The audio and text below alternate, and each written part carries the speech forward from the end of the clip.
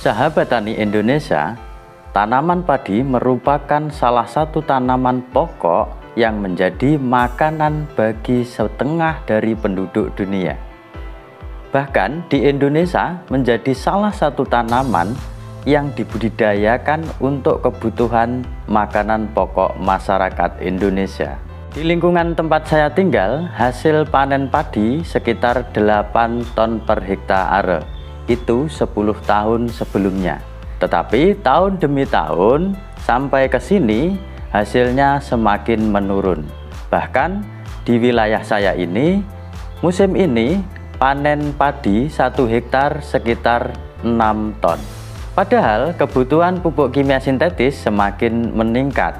Pada musim kali ini, kebutuhan pupuk kimia sintetis di lingkungan saya untuk tanaman padi sekitar 8 kuintal sampai 1 ton per hektare. Bahkan ada juga yang sampai 1,2 ton per hektare. Ditambah lagi perkembangan hama dan penyakit juga semakin meningkat. Salah satunya adalah virus kerdil rumput dan juga virus kerdil hampa. Kalau kita amati, ada yang salah di sini. Seharusnya jika pemakaian pupuk kimia sintetis semakin meningkat, maka hasilnya juga akan semakin meningkat. Yuk kita bahas bersama mengapa sih sebenarnya pemakaian pupuk kimia sintetis semakin meningkat dari tahun ke tahun, dari musim ke musim, tetapi justru sebaliknya hasil panen padi semakin menurun. Menurut hasil penelitian, tanah sawah di Kabupaten Ngawi ini tingkat kesuburannya yang pertama adalah sangat rendah, dan yang kedua rendah, dan yang ketiga sedang. Hal ini bisa dibuktikan dengan data hasil penelitian dengan kandungan bahan organik sekitar 0,1% sampai 2,71%.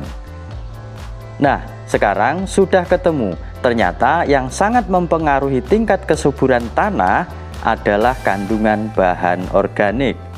Maka sangat wajar jika hasil produksi tanaman padi setiap tahunnya semakin menurun dan juga kebutuhan pupuk kimia sintetis tiap tahunnya semakin meningkat. Sekarang berapa sih seharusnya kandungan bahan organik sehingga tanah bisa dikatakan subur? Tanah bisa dikatakan subur untuk tanaman padi jika kandungan bahan organiknya mencapai 5%. Kandungan airnya sekitar 25%, kandungan udara sekitar 25%, dan yang 45% adalah mineral tanah. Dibandingkan dengan bahan-bahan yang lain, di sini prosentase bahan organik paling sedikit. Ya, hanya 5%. Tetapi bahan organik ini sangat menentukan tingkat kesuburan tanah dan tentunya juga sangat mempengaruhi kesuburan tanaman dan hasil panen.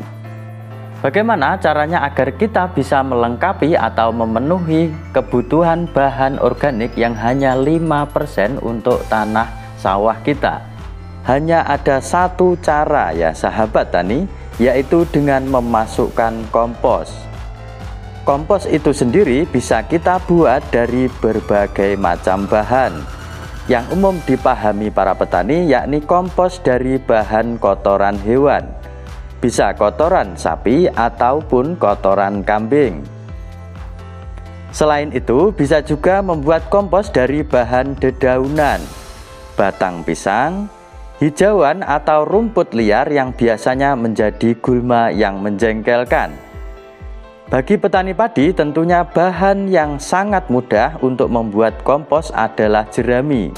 Karena setiap kali panen pasti memiliki jerami yang melimpah.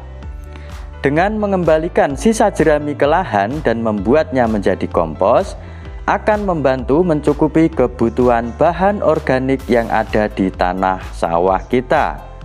Jadi, jangan hanya mengambil padinya saja, tetapi juga ambil manfaat dari sisa jerami yang ada di lahan dan juga yang dibawa pulang sebaiknya dibuat kompos untuk mencukupi kebutuhan nutrisi tanaman padi kita di musim selanjutnya. Jangan malah dibakar. Mulai sekarang masukkan bahan organik dan kompos ke lahan sawah. syukur-syukur bisa mencapai 5%. Maka sahabat tani sekalian sudah tidak dipusingkan lagi dengan persoalan mahalnya pupuk kimia sintetis. Gimana? Menarik gak? Kalau menarik ya lakukan, jangan hanya diangan-angan saja. Baiklah sahabat tani Indonesia, jika menurut Anda video ini menarik, silahkan like dan juga share kepada sahabat-sahabat tani yang lain. Jangan lupa subscribe dan bunyikan loncengnya untuk tetap berdiskusi terkait dengan pertanian ramah lingkungan dan berkelanjutan.